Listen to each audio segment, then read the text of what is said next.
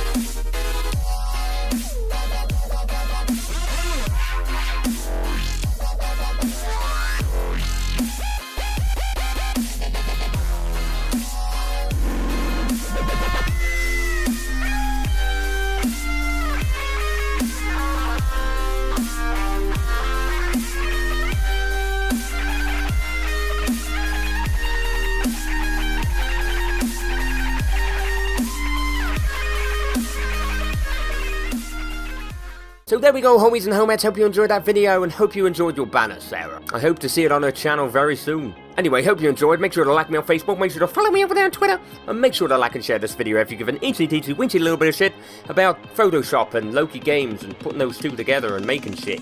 Peace out.